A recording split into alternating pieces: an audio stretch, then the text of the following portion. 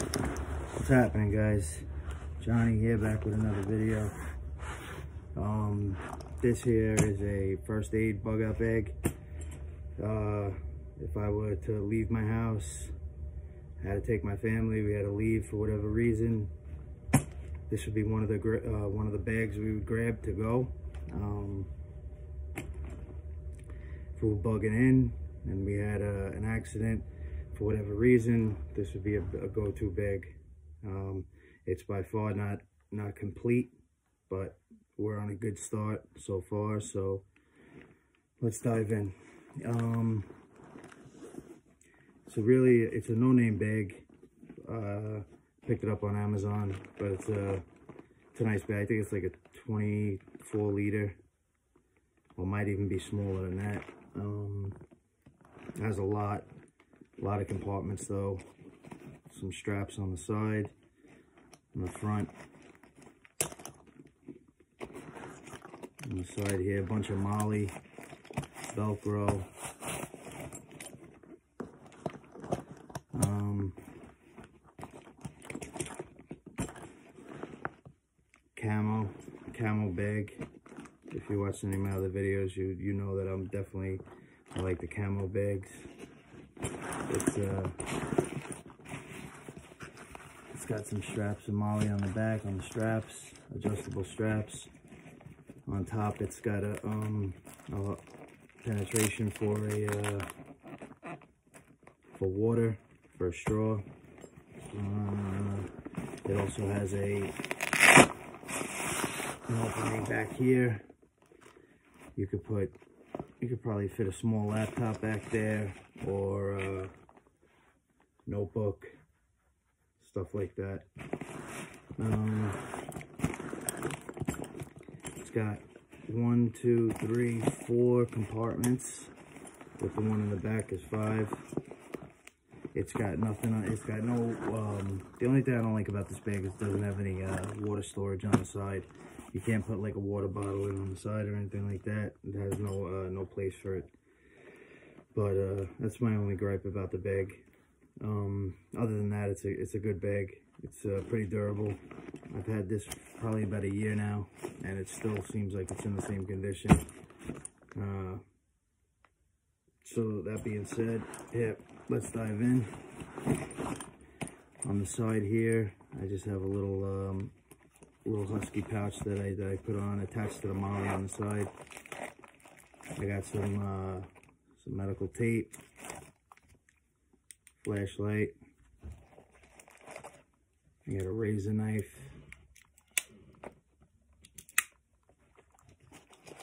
I got some some wound closure strips. Some gauze wrap.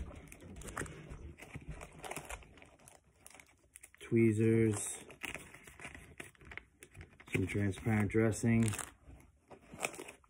more transparent dressing, more transparent dressing, some more wound closure strips, transparent dressing,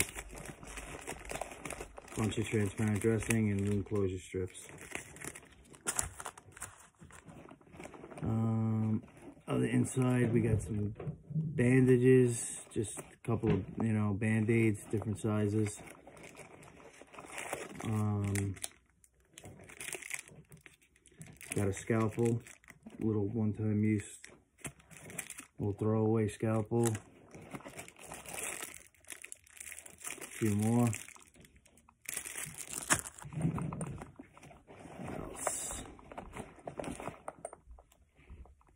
Got two little rubber tourniquets here. I got a little pad and a pen. No need to pull that out self-explanatory. Over here, I got just got some rubber bands in the front. That's it this pouch.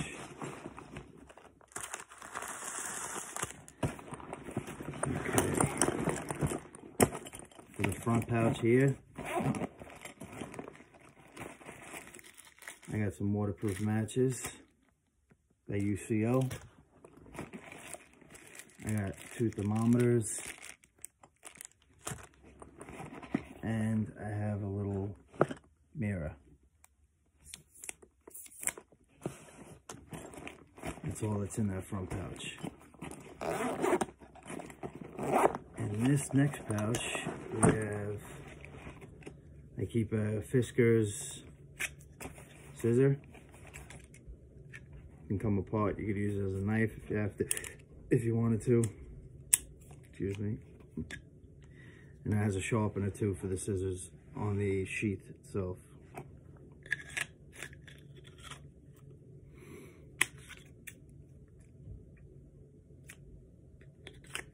trying to see what else it had on it. Um, I got some some 550 cord. Just uh, you always need 550 cord. And this is fire fire cord here. It's got some strands in it um, to help you start a fire. Um, got some medical shears just a cheapy pair. Got a pen light. Couple of pen lights, sorry about that. Got some markers, some pens, a in the Rain pad. And this here, this is a high temperature cautery, cauterizer. So I got two of those in here. So if I had a cauterize anything. My wife is a nurse, so she'd be the one doing all of this stuff. But uh, two cauterizers.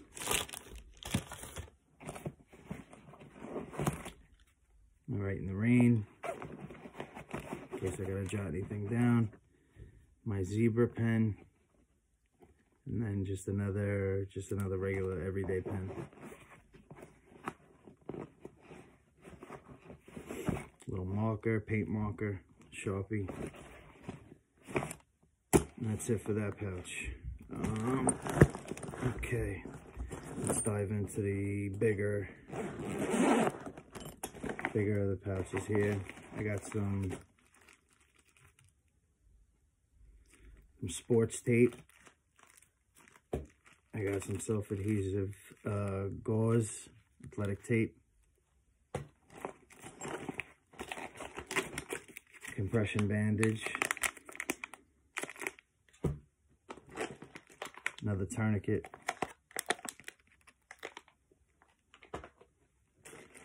Um, some alcohol prep pads. That's a must. Some splints. Pretty sure that's what they're called, right? Just a couple of splints there A little burn dressing here. And then we got a bunch,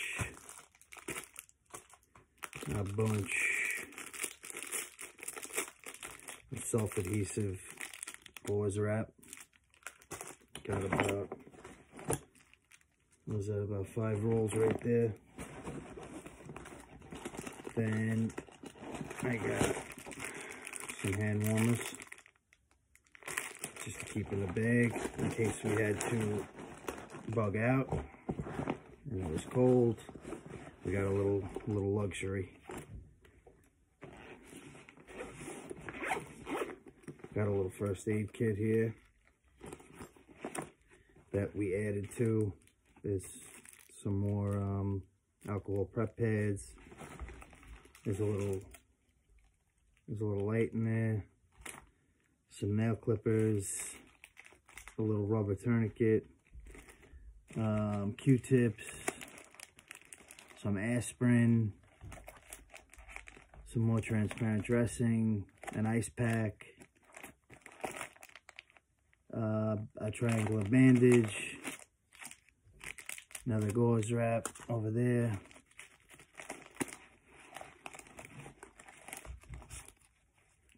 some steri strips.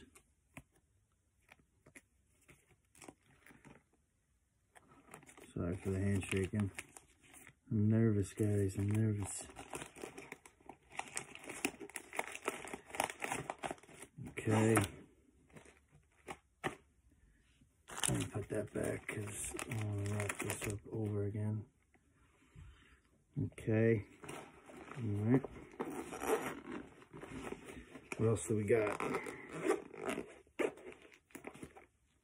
You never know what kind of situation you're going to run into. So it's good to have all around, you know, that you hope that you never have to use any of this stuff. But if the situation arises, then at least it's better to have it, not need it, than need it, not have it, right? So over here, I got some bleed stop.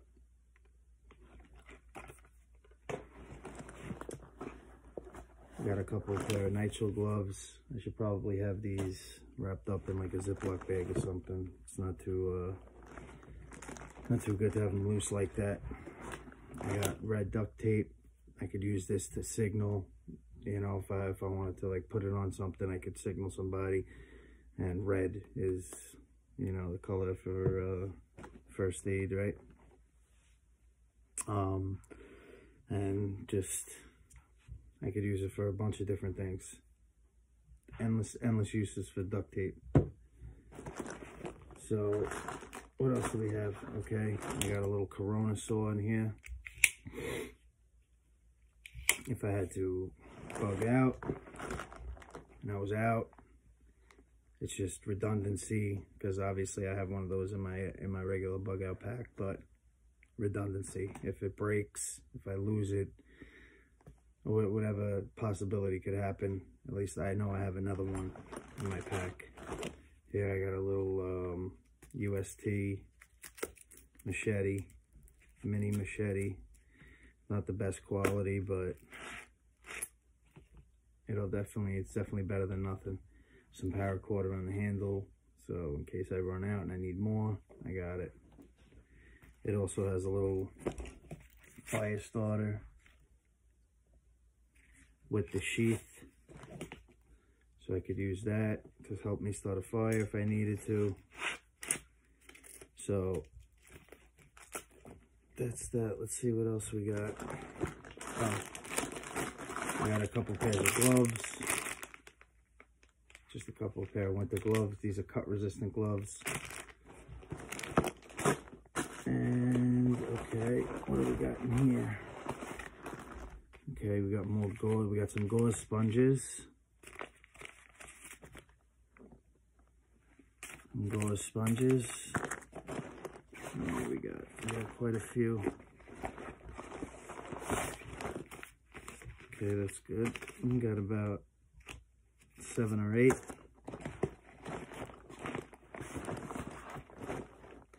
And, oh, on the outside, I just got a little paracord bracelet just uh, redundancy. Two is one, one is none, right? So that's about it. Yeah, that's it, guys. Got a couple flashlights, because that's always good to have. Um, couple knife. I got a little razor knife, like I showed you that before. This is just a little Kobalt razor knife.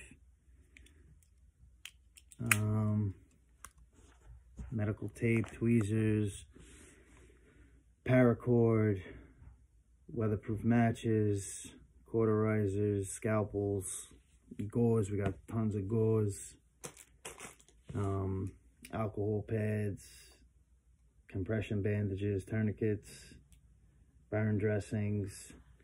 You know what I don't have in here? I don't have any ointments. That's what I need to add to this bag, guys. Some ointments. I need some, and, and maybe a bottle of aspirin or something like that, even though I have aspirin in my first aid pouch. But um, maybe some ointments in here, some creams. Um, there's plenty of stuff that I still need to add to this bag and go through it and, and make it, you know, make it better. But for right now, it's it's uh, it's a decent bag, not bad, and uh, could always be better. But you know, it's this is a this is not a bad start. So um, if you if you like the video, guys, um, like it, think about subscribing. I'm just getting started here, so I don't have that many subscribers, so I'd appreciate the subscribe. Um, and definitely some input. You know, maybe you guys can help me out. You know, you can, I can, maybe hopefully I showed somebody something and maybe somebody can give me some input on what I'm doing and maybe how I could do it better. Um, I appreciate any criticism, positive or negative. And uh, that's about it. That's everything. That's everything for this bag. So, um, hope you enjoyed the video. Take care, guys. Be well, be safe, be prepared. See you next time.